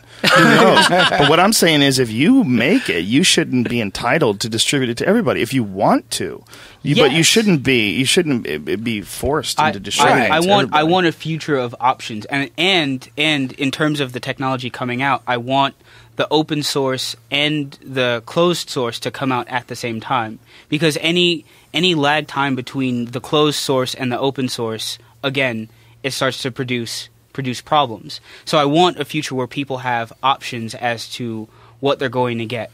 And I think that we've already seen problems with uh, with technologies being pigeonholed so that you know it, we can't have we can't not have a smartphone, but we know the fuckery that's going on with smartphones, right? And so there's what what do you what do you do? Well, there's a lot of problems with smartphones. If you really want to get to the bottom of it, the real problem is they're all based on conflict minerals. The real problem with smartphones is that you follow every smartphone down to its source, and you got a little kid in Africa with a stick knocking rocks out of the dirt, and that's real. And that they can't fix that yet. They really can't. They don't know what to do yet. So they, they need these conflict minerals, and they're not available in very, very many spots of the world. And the, the places where they can get them the cheapest, that's where they get them. And that's why you have civil war in the Congo. That's why you have people fighting over these resources. So you got a real problem besides the innovation. You got a real problem in the morality of actually owning a cell phone because everyone who owns a cell phone is a piece of shit. If you really get down to the core of it, I mean, this just there's no way around it. I, th- I think this is a, this is an unbelievably fascinating subject, and I think it's inevitable that uh, we we have this sort of discussion in, in, the, in this argument. And I think what we really need is the idea of capitalism or competition merged with morality and ethics and humanity. And in, instead, what we usually have is he who gets to the top of the mountain kicks everybody in the face that's trying to get up. And, and instead of like pulling people up with them and humanity benefiting, and, and, and sharing something like that in an open source manner because you think it's the right thing to do. instead of mandating it, I think it almost should be a part of success itself. That success itself sort of generates uh, altruism. It generates happiness. It generates generosity. It should. It's like once you have some and you care about others, you should give. You should help. You should boost them up. And we don't have that attitude in this country, unfortunately. We have this ultra competitive attitude, which has spawned so much innovation because of it. But along the way, it's also made a bunch of fucking assholes. Yeah. You know, a bunch of heartless assholes just caught up in the hunt. Don't, don't don't you guys think that the it's eventually going to be impossible to keep anything private and uh, Yes. that, that it's that it's like Absolutely, to even yeah. to so we're entering into a future where there's really not going to be such a thing as secrets we're entering into a future where everything will eventually be leaked in some way everything will Well, I'll either go you one better. I don't think money's going to be real anymore. I think we're going to get to a point where there's not going to be ones and zeros are not going to cut it as far as you have this and he doesn't have that. And I really believe that we're going to get to some weird place where just by nature of the, the, the just the progression of technology itself, the dissolving of boundaries, the access to information, ones and zeros are all you have when it comes to money. Money is just information. It's going to get to a point where the idea, the paradigm that we operate under, we think it's important. I keep my stuff, you keep your stuff, I pay for this, you pay for that. It doesn't exist anywhere else in nature. We've decided that this is normal. We're going to get to a point in time where you, you're not going to be able to lock it down anymore. You're not going to be able to hold on to money. It's not going to mean anything. We're going to have to decide what the fuck to do with all the different shaped houses. We're going to have to decide who gets the food. But Yeah. you're, you, it's not going to be real anymore. It's gonna it's gonna merge into some next level shit, and that's I the future so. of humanity. I hope so too. But then I hope people don't get lazy as fuck because of that. Well, I- one of the I- reasons why people have done so well, which is uh, it's also arguable whether or not doing so well is a good thing. But one of the reasons is that we've needed to succeed in order to survive. I don't. No, I think. Well, how the I fuck think, do you think we got well, out of caves? Well, well how do you think we didn't get killed off like Neanderthal? How do you think we didn't become food for the prey? We're weak and slow. We, just because we, we innovated and we pushed forth and we, we got the fuck away from all the things that are dangerous. We locked up cities. We invented guns. We did a lot of shit in order to make innovation possible. Because if you go to places on the earth like the Amazon or like Africa, there's no fucking innovation, okay? You're wearing a piece of skin over your dick and you're looking for something to eat. And that's what you do every day. You get up in the morning early and you go look for something to eat because if you don't, you die. So my my my favorite my favorite example uh, is the when we started growing crops. Right before, most of our most of uh, a human's time was spent looking for food. Right, you didn't have time to ask. You know, mom, what is that? Because you were fucking either hunting something or running away from something. That was just about your entire life. When you are now growing food, you're now you now have a wide space in your day where you're not doing anything. Even entire seasons where you've got food stored up. So what do you do? You start asking questions. You start making art. You start writing things down because you've got time now. I think that when I think technology should be about liberating people to do what they want. This follow- what, I'm sorry to cut you off, but what you're saying, this to me is one of the great uh, uh, naive ideas of transhumanism, which is the notion that if you remove from human beings this, the, the need for something, in other words, because the ultimate goal of transhumanism, I think, is to t- take to shrink down the moment between what you can think you want and the moment of having it to nothing so that you instantaneously have something whether it's by neurologically stimulating your brain in a way that's exactly identical to reality so you can experience any feeling state that you want or whether it's using matter assimilators to build something that you've contemplated. And all of humanity has been based on overcoming the obstacle between those two things. But in overcoming the obstacle you gain wisdom. When you're learning how to like play piano you don't just get to learn how to play piano you get to learn the discipline of years and years of working to play piano if suddenly we can download into someone's mind how to play piano if we remove that discipline then what Oh, joe's saying I- is you end up with slugs I, but I, I think that I think no matter how hard uh, a dog tries, it can never learn calculus. There's just an upper limit. You just no matter it can study forever, and it just it won't happen. And so I think that there are things that we just as humans we just no matter how hard we try there's an upper limit. And so when you begin, let's say, downloading information, there's some things you'll get easy, but there are other things that no one's ever discovered that you now have to discover. New ways to play that have never been even, you know, thought about ever. So I think that that when you when you augment when you make yourself more intelligent, more capable, now now you don't have to do hard work to do what humans can do, but you still have to do hard work to do whatever. If There's I can explain it in layman's terms, this is a technological version of mo money, mo problems. Exactly. That's You- what it is. yes. You don't just get make you your don't- problems far more complex. Like people thought, you know what? Once human beings have supermarkets and you just go with a credit card, you don't even have to bring around a bag of gold. Then no one's going to be depressed. Turns out, eh, people are more depressed. They're sad. They're looking for meaning. They're not hunting and gathering their food. They're missing all those. Those those rewards that are built into the human genome, they don't get them anymore. So what do they do? They take Prozac and they drive fast and they watch stupid movies. Yeah. Well, it, can I put it Mo in? money, mo problems. Let me put it in non-layman's Burning Man terms. If you take the Tibetan Book of the Dead, one of the bardos or one of the hells in the Tibetan Book of the Dead is called the Hell of Hungry Ghosts. And what this hell is is these beings living in this weird place have this infinite appetite and anything they can think of to eat immediately appears in front of them. So they have the combination of always being hungry mixed in with being able to instantaneously create any food that they want. And that creates a hell state where all they're doing is feeding and eating to try to quench this endless human appetite. Now, obviously we're really far away That's from probably coming, though. I mean, if you wanted to think of something that someone would invent, that's without doubt inside the realm of possibility. We already have boner pills for old dudes on their death Yeah. pill, uh, on their deathbed. They chomp down a couple of pills and they got a zombie cock. We already have that. You're telling me they're not going to have something where it just keeps your hunger going? You, you never get satisfied. You'll be hungry all the time. What's your favorite thing to do? Isn't it eat? Mine too. Wouldn't it be great if you were hungry always and you could just be a professional eater all day? Yeah. That's Without how, a doubt, some that's idiot. how we design fast food. Think about what people have done to their lips. People would do that. People have blown up their lips, putting magnets in their fingers. No offense. I- they would definitely do that. I, I think that that that's it, you, if that's something uh, negative about the human condition.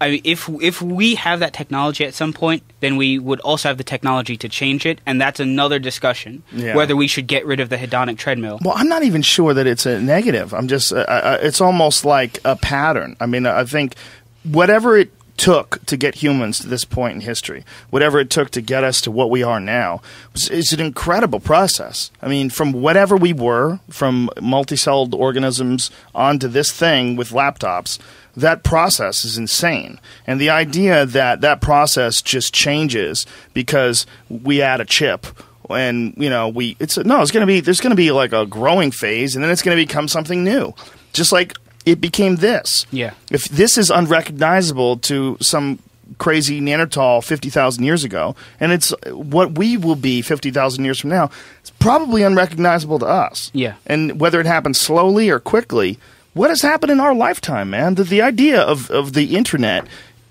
crept up on us so damn Yeah. quick that we all just accept it as a fact.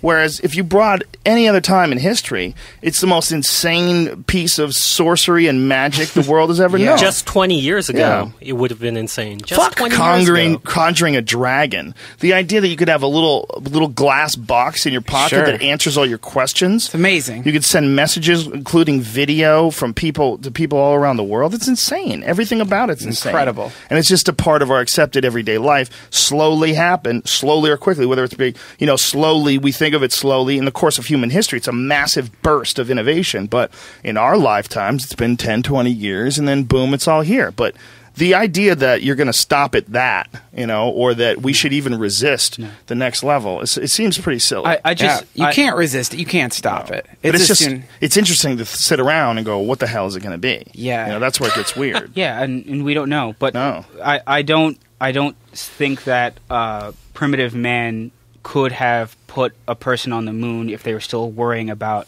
catching that pig. No, you're is- is absolutely what I'm right. saying. Yeah. and whatever whatever aspirations we'll have in ten thousand years, we won't get to that if if we don't do certain things. Yeah. uh, and and I think that a part of uh, a part of humanity that I think we should keep is our need to explore and understand. And I think that if we're still worrying about, you know, getting cancer at 60, Mm-hmm. we're not going to get there. Right. I think it's inevitable that we still keep exploring. I, I really don't. I don't. That's it's why we're here. It's it's a whole part of the whole thing. It's, Right. There's no getting around that. No. You got a video to show us? Uh, well, we've got uh, something cu- queued up with uh, Tim when when our buddy, our CTO, got his magnets installed.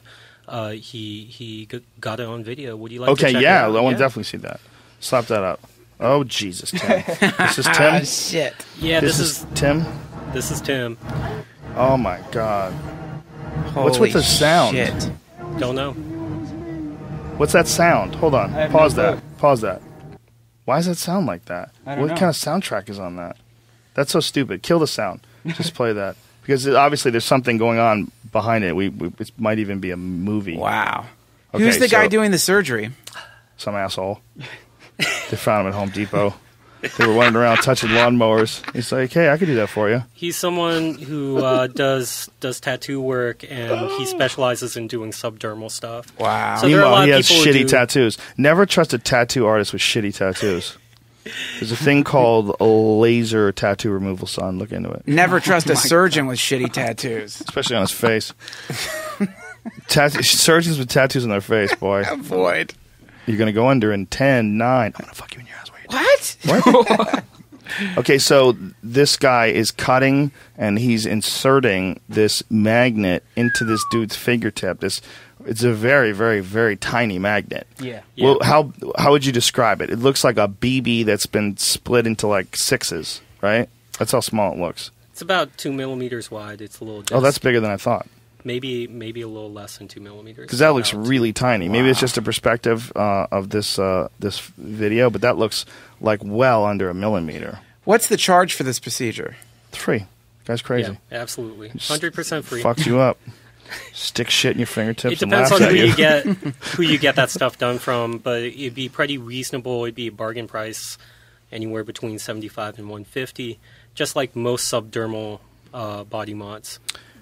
What So is um when you're talking about the future? When you guys sit around and you you bring up what's on the horizon? What's like the big theoretical on the horizon? Does it have anything to do with like the kind of technology that we see in Google Glass being incorporated in like maybe uh, a neural sort of a thing? So there was a there was a paper put out uh, a few months ago about uh, connecting two minds of rodents, uh, and so there was one rodent, if I'm not mistaken, in Virginia, and there was another rodent somewhere in Brazil, and they put this chip into the into the brains of these two mice and put them through an obstacle course, and uh, with a, a s- roughly 60 to 70 percent um, uh, crossover rate, the other mouse actually learned uh, the obstacle course of the other mouse it was connected to. Do you know So- if that's been done without chips though? The, Rupert Sheldrake d- wrote a whole book about it. It's called the the Morphic Field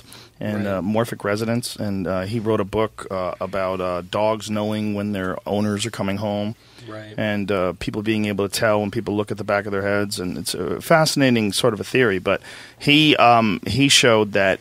I don't know if it's been verified 100%, so, but I know he wrote that he showed that if you teach a rat in one place a maze, that rats somewhere else, another part of the world, will learn that similar maze or that same maze quicker, statistically quicker.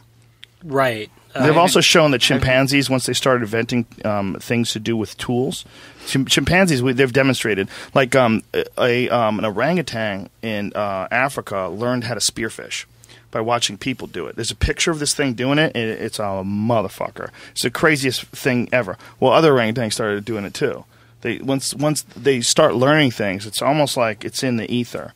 It's very strange. Yeah, this is orangutan separated geographically. It's not like they could observe each other. Well, I don't know Yeah. about orangutans, but the um, the mice definitely separated Yeah, geographically. yeah. That's what's odd about Yeah, it. it- But uh, you know what I think, man? I don't think it's that they're learning. They learn it and then it travels somehow through space. I think the evolution sort of grows through us. Do you know what I mean? Like it's our it's it's something that's growing through humanity is are these new innovations. So it's not as though one orangutan figured it out and sent out a signal. It's as though this was just a new phase that was coming through this form of That's very possible. But the orangutan initially, I, I, I, I've confused these two stories pretty, pretty badly. But the uh, the mice learned in separate parts of the world, separate parts of they weren't connected, whether it's uh, a thousand miles or a hundred miles, whatever it was. But the orangutan were watching people. And the orangutan started mm. imitating people, so they, they did directly imitate Learn. human beings. But if you really stop and think about when human beings used to be essentially very similar to orangutans, it was probably only like a couple of million years ago. Right. That seems like a long time to us, but in the span of the universe, that ain't shit. So the idea that a chimp could eventually, if they kept moving along and slowly innovating and changing and finding magic mushrooms and learning how to make fires with rocks, they Yeah. could eventually become some kind of a human thing. I mean, we didn't used to be people. That's a fact. I mean, w- pretty much established. It's not like all of a sudden we popped up in this form, you know, figuring out, holy shit, we got to get away from leopards. No, we, we, we became this, like slowly and steadily. It's just the time frame for us is so bizarre to wrap our heads around with an 80 plus year lifespan to try to understand what a 10 million year period of development is. We can't really, we can't get our head into that. We don't, we don't know what that means. And 10 million years from now, with this stuff, when it gets to that weird exponential technology thing that's going on right now, we're going to be unrecognizable 100 years from now. Sure. Well, that's what I feel like Lucas is getting at by creating an actual an a, a, a pathway between two minds or between many minds that we can control using principles we already understand. I don't know intuition the way I know the way an electron's going to travel. I know the way an electron's going to travel. I don't I don't get intuition that way. So if we can create chips where I can have something in the back of my head and I go like this and Lucas is like stop scratching your arm because I feel it. Yeah.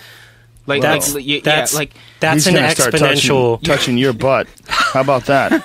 You're sitting around your house, all of a sudden, no, Lucas, stop it, no. You're on a date. You're trying to keep it together. you, you could get hacked with that kind Yeah, of you could technology. Somebody you. could hack into That you. seems inevitable. Just like you get, there's like uh, someone hacked Twitter today, and I must have got a thousand. I'm not bullshitting. A thousand fake tweets about diet and exercise. Oh wow, I look so good for summer because I started doing Ah. this. Like those those bots. Like a bot got through and just infected Twitter. I think the benefit of having a bunch of people develop their own technologies. 'Cause you're all for- infected together. Well, no, if you're developing your own technologies for your own implants, there's some sort of there's some sort of level of of security like some people use Macs cuz hey, Macs don't get viruses the way PCs do because people who want to write viruses are targeting PCs cuz there's more PCs around. I think that is a blinking oasis in the desert. I don't think you're ever going to be able to stop anything from getting hacked. No. Absolutely I think the idea not. that the, well, first of all, we've learned about the NSA and spying. It's already shown that there's- you can't you can't stop it. They've already got algorithms in place. They're already copying all your emails. because of because of bottle bottleneck technology. Mm-hmm. Because because we can't invent our own internet. There's we can only use that internet, and that internet goes through certain filters. You well, it's also just- because these fucking corporations have given in to their overlords and given up the information. I mean, that's Yeah, and that's I- really where it comes down I, to. I don't want to live. I don't want to live in a future where I've got artificial organs and all of the information from that is being pumped out to some who the fuck knows. I don't. I don't feel comfortable with that. I want. I want that information to belong to me at Right. least, so that I can do it with what I want. You know, I don't want any advertisements because my liver is doing whatever, or I don't want Right. people to be able to shut off my li- my liver because I'm not being a good citizen. Ooh, Ah, can you imagine That's like an Ethan Hawke movie.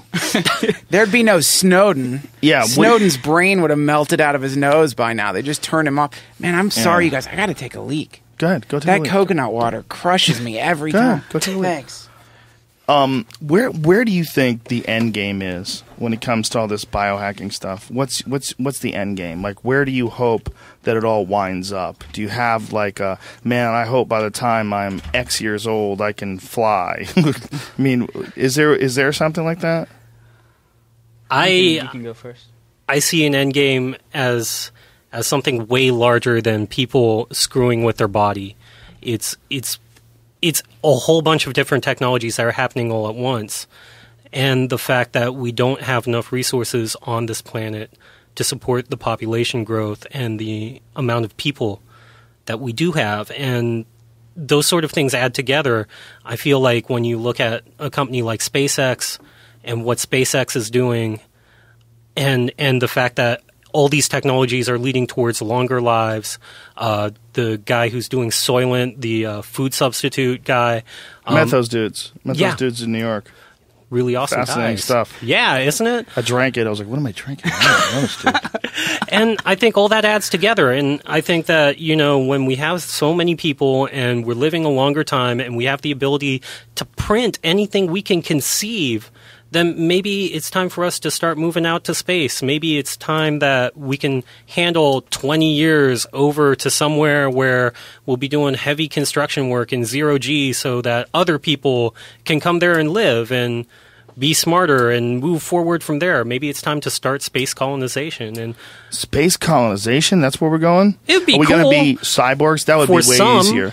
For if some, you could be yeah. like download your consciousness into a robot and send the robot into space. I, I Right. honestly think Plastic that's, brain. that's the, the the smartest way to do it is to be a cyborg. If you're going into space, That's what I've been saying. every everything in space is is trying to kill any Yeah. biological organism. Yeah. You can't, you know, uh, apes in a tin can won't cut it. I That's think. what I'm saying. Uh, and I think being able to withstand all of the crazy space weather, space conditions. Yeah, the conditions are insane. I mean, the the temperature is instantly death if you step outside unless you have a pressured suit. If you get hit by any sort of a solar flare or asteroid, you're done. We're we're we're too fragile even for this planet. That's why we've got like this stuff on us. Yeah. And I think Motorcycle jackets and shit. yeah, the the idea of of uh, colonizing space as this, I don't think it's it's it's too dangerous. Mm-hmm. Do you foresee a future where we really do download our consciousness into some sort of an artificial human being? I I don't know uh, I don't know enough about the technology to say anything definite. I think that it's a cool idea, but I've never seen anything Compelling. compelling. Yeah. So I can't I can't really say. It's a mind fuck, though, isn't it? the idea of like a little you, a little Lucas running around, made out of rubber, and it's you. Your consciousness is in this thing. It's out there touching things and moving stuff around. Yeah, and also that you could duplicate a Lucas. Like if you Yeah. could download a Lucas, then your Lucas could end up on the on Pirate Bay. People could just be downloading you and then sending you pictures Mm. of their Lucas that they've put in some kind of Habitrail. But being- that that would definitely be another that would be another Lucas though. Because once you start generating independent memories, I think you you Mm, yeah. start having different emotions, different Right. thoughts about things. Yeah, that's Uh, going to be really weird and when you we- have yeah. unless they all interface somehow or another together. We which could do that. is yeah, which which I I mean, it is possible, right? I mean, if you're dealing with, look, the the idea of sending someone a video or talking to someone through FaceTime or Skype in real time off your phone seems like the dumbest, the craziest thing ever. Like that couldn't be possible. That wasn't even on Star Trek. oh yeah, They never even figured that out on Star Trek, but it's real. The idea that you and your three clones or whatever they are could be experiencing life simultaneously and that you could multitask and that the the mind may evolve to concentrate on one person or another these two sleep or these two are out you know and you're doing two different things at the same time and aware tuning into either one whatever you choose sort of like touching your leg with your left hand while you're writing something with your right hand it's going to be a problem, man. You're going to have swarms of individuals. There's going to be Oh, yeah. Rogan swarms. Like There's- you're, well, like Genghis Khan, like you know, Genghis Khan is responsible for like something like five percent of the population's DNA because they just, you know, he went on a party in spring in the 1200s, and the whole world's never recovered. You know, hmm. I- imagine if you're doing that artificially. Well, when you talk that- about stuff that's that powerful, all of a sudden it becomes really important who has control of that technology in the initial. right, but 50 how do you enforce that? How, It's a race. It's a race. hold on a second. What? Itskov. You What about this him? is a perfect opportunity to talk about Itskov because that's what he wants to create. Right. Is this whole army? That- he wants to create an army. Well, not an army, army, but a whole group of people. He does. Live forever. Did you uh, pay attention to the Global Future 2045 conference? yeah I know about the twenty forty five guys. what do you guys think about that? Um, I, I like that uh, that they're working towards a, a solid project uh, because that's kind of rare in the transhumanist community. There's just a lot of sci-fi talk, um, Really? and way too much. Just way What, too, much. That's fine. There's But- dis- discontent in the transhumanist community. They're debating on how to handle this correctly. This guy doesn't Uh, know what the fuck he's doing with his robots. But uh, uh, I like I like the fact that they have a goal that they're working towards. I just I fear that uh, there'll be a particular group of people that'll that'll get it and then just fuck us for eternity. And That's your big fear. Your big fear is someone else getting a hold of the goods first, and and not, not, giving you the, I- the super chip. I, I fear about the type of people that'll that'll get it first because the the world didn't fare well when a particular people set of people got the gun first. That wasn't good for a lot of the human species. Well, Uh, it was and- good for us though. That's how you're here, dude. That's how you're sitting on the internet uh, with a, a plastic microphone in front of you, sucked out of the I- earth, I would- converted from oil. I would rather I would rather not have to move forward with that sort of contention and fighting and just. pe- I don't. I don't think. Is that moving- inevitable? I mean, it, with enlightenment, I mean, we have it, w- w- whether or not we've achieved enlightenment, we certainly haven't. But at the highest levels of humanity, I think people are probably more aware and tuned in today than at any other time in history, and it's probably way safer today than any other time in history. Even though there's a lot of crazy shit that goes down on a regular basis, if you compared your everyday life to that of someone living in Siberia in the 1200s when the Mongols came storming in, Yeah. we live a lot better Yeah. it's pretty pretty goddamn good. I, and I think that a big part of that is technology and the access to information. The access to information is freer than ever before. Technology more powerful than ever before. Hence, people are safer and people are more moral. I really do believe that. And I think the idea of people being moral is more accepted as not just something that ha- has to be enforced in order to keep the peace, but that's something uh, that's beneficial and something that you should strive for. It's admirable. I think that that really may, might not have existed on such a mass scale in the past, even in the past 20 or 30 years. I think we're dealing with like pretty unprecedented times. And it sounds like really super, you know, optimistic, but I feel like one of the, the byproducts of this technology that we're all experiencing is that we're experiencing a sort of mini enlightenment mm-hmm. and a, a, a, a burst of enlightenment because of this information. If that is the case, I think that this kind of technology that it sort of dissolves more boundary. I don't think it's going to lead to a constriction of the people that utilize it. I think it's going to lead to a, a freedom of the, the species itself. I really do believe that. I think that if I look at the the trend, even though everybody wants to think the sky is falling, the trend doesn't indicate that. The tr- the sky is falling for some people in some spots, and the apocalypse is right now. If you're living in the Congo, if you're in Liberia, the apocalypse is today. That's Mad Max, right? That's going on right now. So, but the trend for us here, it's obviously not in that direction. I mean, it seems like there's always going to be a worst case scenario on this planet, but that worst case scenario is far better today than it's ever been in history. And the best case scenario was completely non existent, even in science fiction novels. It's going in that way.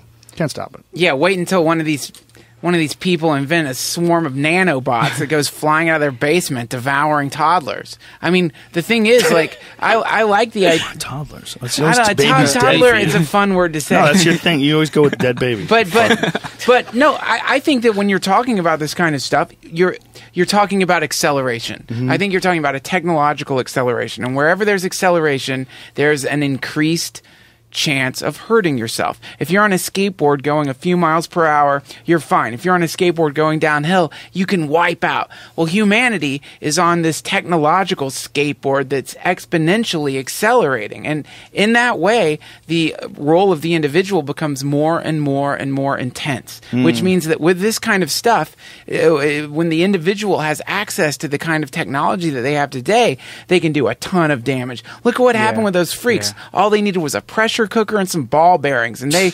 permanently Yeah. ble- they killed so many people and traumatized so many others. In the same way, five years from now. I, what happens with when people have access to this kind of stuff? It is, da- it is, a, it, we we are setting ourselves up. But for you're talking I- I- about very unique in individual circumstances in comparison to the 7 billion people experiencing things completely differently all around the world. The problem is that you're dealing with 7 billion people that have access to the internet, or at least a, a- good percentage of them, Yes. and have their stories being told. So you're hearing about instances all over the world simultaneously all at once. We are not designed for that. We're designed to take in information from our lo- local community. We're designed to take information from, oh, there's a band of dudes, they're about a mile away on foot, and they're coming here to fuck our women. That's normal. That's what we're supposed to deal with. Yes. You're not supposed to deal with a story about a guy in Switzerland who fucked his pig to death. Right. You know, you know, Yeah. you're not supposed to deal with this g- guy in Detroit that's got a, a, a, a fake Bigfoot in his cooler Yes. out back. I- these are these are all you know. Th- this is this is just you're dealing with so many human beings, an impossible number of seven billion, and you're getting information from Right. a vast number of those people. So you're always going to get these freaks. You're always going to get, but it's still the trend. The overall trend better. is way better than it's ever existed. And and I, I agree with you there. I I my hope would be that we become more ethical before we get the power to cause damage. So we even though we're more ethical now, any ethical mishap at this point would be a lot more disastrous. It's not so bad when the most powerful weapon you have is a sword. Uh, yeah. but well, that's not true because Genghis Khan killed Well- 70 million people Well, with a horse and a help. sword. and a lot of people. A lot of other dudes with him, but they did it with horses. right. 70 million And- people over his lifetime with horses. But if you, the the scenario is you have 3D printers, and let's imagine 3D printers in 200 years, where now you can like molecularly assemble stuff, and somewhere along those 200 years, someone discovered antimatter, right? So let's imagine that there's a way someone could create a antimatter that, when it f- met matter, would dissolve the universe. Let's just say there's an imaginary technology that could open up. and a, you know what's, gonna, what's going to happen? A What? few people are going to die, and then it's going to force everyone to learn how to be really nice to everyone. Because everyone can create a fucking antimatter bomb in their computer. that's what I That's hope. right. Yeah, that's what I That's hope. what I hope. That's what I mean, they say a well-armed population is a polite population. I mean, we're going to take it to the complete next But- level. Antimatter There'll be a a bunch of country. black holes all throughout our planet that were created by assholes. We're going to have to hop over on our way to 7-Eleven. Look some- that, there's a black hole over there. Oh, thank you. Know. something in transhumanism that people don't talk enough about, I think, is making people more ethical. I think there's only talk of making people more capable and more hmm. intelligent. Hmm. That's interesting. But there's no talk of making people nicer for the sake of just living in a in a more sane world because we're nice now, but what happens if infrastructure goes away and we become hungry again and we've got lots of weapons around? right. What happens? Yeah. Uh, and it would it would take a longer period to build back up Mm-hmm. in this state rather than if we were nicer and had forethought instead of having hunger automatically take over and be like, well, fuck that guy, he has food, you know. We I think that we should start having a discussion about uh, making people more ethical uh, and and being able to empathize with even other species because who knows uh, who knows what we will run into in the future, and that might be important. Well, that's interesting that you brought that up because that was something that Dmitry Itskov actually touched on in uh, the conversation that I had with him, where he was talking about that being an important part of this whole movement, and that the movement wasn't just about achieving some new technological state; it's about elevating, elevating humanity as a whole overall. And I, I thought that was really interesting that he is taking that into consideration. That's one of the reasons why in this global future 25, 2045, um, that's what it was, right? Global Future Yes. 2045 uh, conference that he had, he brought in a lot of religious and spiritual leaders to sort of ask some questions of these different faiths to try to get an understanding of what their philosophies were and how they would incorporate this sort of new impending technology, this transhumanism idea, had it w- were it to come to fruition. It was really pretty fascinating stuff. I mean, he didn't just take it from the technological standpoint. Yeah. Itskov really delve he dove into the uh, psychological and the spiritual aspects of it as well, which I thought was uh, unique and admirable and probably pretty important if this thing moves further. You're going to have some re- real ethical questions. You develop immortal cyber beings with skin made out of spiderweb silk that's bulletproof. I mean, there's already That's the trans, coming. the transhuman Yeah, Mormons. They've already they already figured out how to do that. Right. yeah, the the transhumanist Mormon. What? associ- What? Yeah, yeah. What did you say? Yeah, yeah, that's What that's did that's say? a real that's a real thing. It's like saying gays for Jesus. Yeah, there's That's uh, hilarious. There's Transhumanist Mormonism. Yeah, Oh there's there's a subset of the Mormon community. The problem is, if you're willing to be a Mormon, you're fucking willing to be anything. It's just a matter of who rings your doorbell first. You know, it's like just sit them down, talk them into anything. You're a Mormon. You believe a 14 year old named Joseph Smith in 1820 found golden tablets that contained the lost work of Jesus, Yeah. and only he could read them because he had a magic rock. No wonder why they're afraid of gay marriage. You feel me? Because if someone can talk you into being a Mormon, they can talk you into blowing them too. That's the joke. Get it? It's right out of my stand-up. God damn it! You got me doing my own material. God. You, uh, the, uh, you're a part of a movement right now. Um, whether you call it grinders or transhumanism or whatever, you're part of a movement where you're focusing on a very specific thing. You're focusing on incorporating technology into the body to improve the body. And as long as you're focusing on that, as long as there's a whole community focusing on that, whether or not now it's just magnets in the fingers and everybody's poo pooing it and saying, what's the big deal? There's going to come a time where it's a lot more than that. Whether it's some new invention of something that has absolutely no uh, rejection in the human body, so you can add all kinds of things.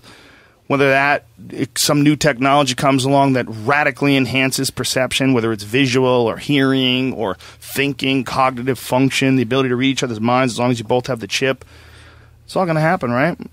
Like you can't text message someone who doesn't have a phone. Okay, Yeah. but if they have a phone, you can text them pretty easy. And once we all have something like that in our head, and it's like your phone will work with your friends' phones. OMG, I'm looking at you right now, and I'm writing this down. You know, there's going to be those moments where we we hit some next level thing that we didn't see coming. Just like we didn't see the internet coming, we didn't see cell phones coming. No one saw that shit coming. Again, even Star Trek, they had a oh, fucking walkie-talkie, man. Kirk out. You had to like say that and shut it. you had to flip it open. It's so stupid. They didn't see iPads. They didn't see any of that shit. And you guys are right on the crest of the wave, right on the crest of the technological tsunami, getting sucked into the singularity. As we're all getting torn towards that waterfall, you guys are in the canoes at the very front. How far would you be willing to take it? If someone came up with some real Steve Austin, six million dollar man, arms and legs, they just had to saw your shit off and put on some new ones. Would you be down? If you knew, if there were like a whole bunch, it was like fake tits, where everybody was doing it. If it got to that point, I Because, think if you know, everyone fake- was doing it, we'd all do it. Yeah. You came up to like a woman in the 1800s, or he came up to a pilgrim or something, and said, "Listen, I like I like what you look like, but I'm thinking that maybe some bags of water surgically implanted under your breasts would, you know, you get a lot more attention around the town." bags, soup. They didn't even have bags. They didn't even have plastic. But they would think you're fucking crazy. Are we going to think, I mean, is that us looking at the future about, like, it's going to be standard? Like, you still have your arms and legs? Oh my God, girl. Uh, what are you what- doing? what is that? Yeah, that that'll be the end of rape. Everybody's just a fucking super robot. It'll be the new retro thing, though, to have everybody can arms. fight off everybody. Yeah, I think that Yeah, retro. it becomes it becomes an expression of yourself, kind of the way that body modification is already. Yeah. you know, I why would I replace perfectly good arms and legs when I could have extra or maybe Extra. something Yes. something Now extra. you're greedy. See, greedy motherfucker. Trying to give you a super body. Like, how about I have a three dicks? But by the way, man, you got it. Forearms, forearms would be great. If Shiva. Maybe that's what Shiva's all about. Maybe that is the future. Shiva's a futuristic Holy robot. shit! I never even thought of that. Maybe that's what that was all about. Some crazy transhumanist from the past. Maybe they figured it out a long time ago, and they just barely wrote it down. They were so high, they they, they wrote down like They were- a few passages in the Bhagavad Gita, and then went back to eating mushrooms. Like, Hold on, six arms? Is that what it says? But I do like that you asked somebody who has magnets under his hands if he would replace his arms with robot arms. The answer course. is yes. Of course. You would do it in a second. even even if no one else was But doing what if it. you couldn't enjoy like foot massages anymore? Would you replace your legs if they were just numb? They were numb but awesome, like jumping over buildings, running sixty miles an hour. But you, they were numb. You know, you don't feel a good massage. Are you saying that if you I had to pick I between think enjoying Girl foot grabs your butt, you feel nothing. No, I don't. I don't think it has to be a uh, a trade off. I Might think, have to be. But I- if you keep your cock and balls, but the bottom of your sack is numb.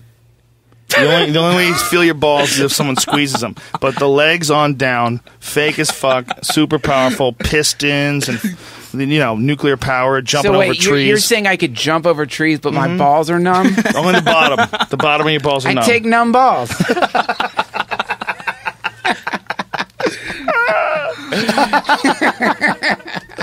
yeah. I'll take all the way to the What did, you, top. what did you think you would be willing to go through an operation that removes your legs? I mean, what if they get operations like, look, a long time ago, just something like a fake tit would you'd probably die if someone tried to do that Right. to you. You would die just from the fact they didn't know how to sterilize you. You didn't have any uh, way of putting you under. Sure.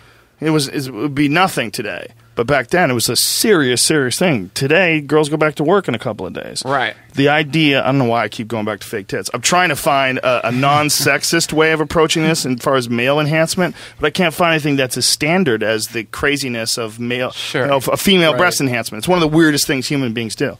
But to try to, if we get to some point where uh, amputating legs is like nothing, Yes. and replacing it with an artificial one, But super powered. I think that the difference between a breast implant and fake leg, right, is that already my knees are giving out. Already my my legs are going to wear out. Stop right there. Have you ever seen a chick that's had three tits, three kids rather? Have you ever seen a chick's tits who's had three kids? Everything wears out, man. We're made out of flesh. Right. It would have been way better if I said it smoother. Yeah. That was a missed Wait, opportunity. Say it again. I stumbled. No, it's too late. We do wear out. You're totally right. There's nothing different between those two, but we wear out. yeah, well, we do. Eventually, your choice might be shitty legs or better legs that or maybe work they better. fix fix the um, undersack and you know come Yeah. up with some new technology that even though the undersack is artificial, it has sensors and it sends it.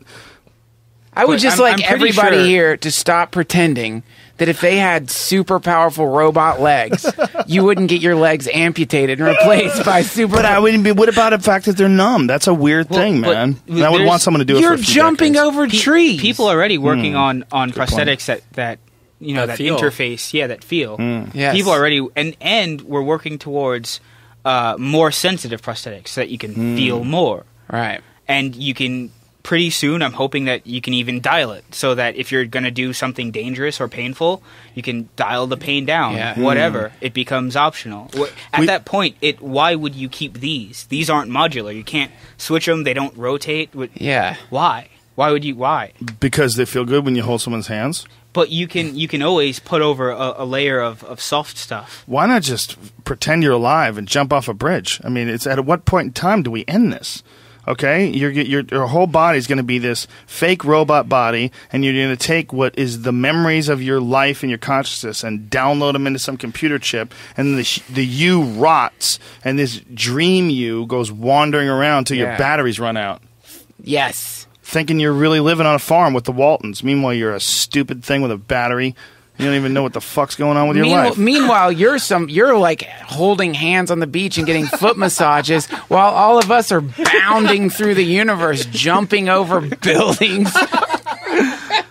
well, I'm just playing devil's advocate, but there always are those people that want to hold everything back and go, "What?" Like those those assholes that we were listening to.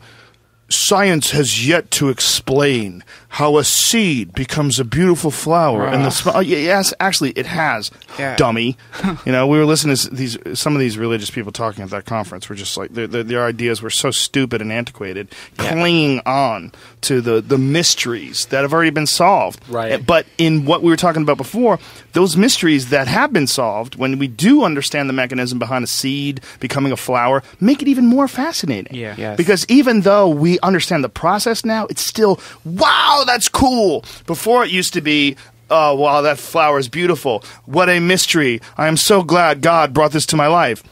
Now we're like, isn't this incredible? This Yeah. seed it got oxygen and then minerals from the soil, and then it converts it into energy, and then there's photosynthesis, and then it grows, and then the flowers blooms. This is insane. It's like the whole process behind it is like it's like so mind-boggling and enriching. Like, and as a human being, that's one of the things that like really jazzes us up when we learn new shit, when we discover new shit. It's part of like the like when you tell someone something, go, whoa, that's cool. Like we were talking earlier today about this um, this discovery. These uh, scientists uh, in uh, Germany and um, in Germany and America, uh, they have discovered um, this new type of animal that used to be like a, an ancestor of the human being that's from 41,000 years ago. They thought it might be a Neanderthal, they thought it might be a Homo sapien, and it turned out to be some new thing that they didn't even know existed. It's called, they're calling it a Denisovan based on where they found Yeah, it.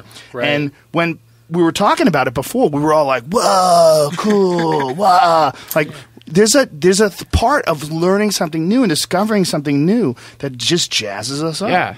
and that that's one of the things that brought me to transhumanism the the desire to see the milky way i mean learning that we didn't live we couldn't live long enough to explore the galaxy was just to me as a kid was just Devastating. really, yeah it was it was it was devastating because That's when like, you know you're a super geek. because like you know I, I I grew up watching like Star Wars and and you know, watching Doctor Who and then finding out that we're too fragile and we don't live long enough to see anything. It's like we can't. W- what we do is we say, "What's over that hill? What's over that mountain? Let's go." I know it's dangerous, but hey, there's nothing else to do. Let's do it.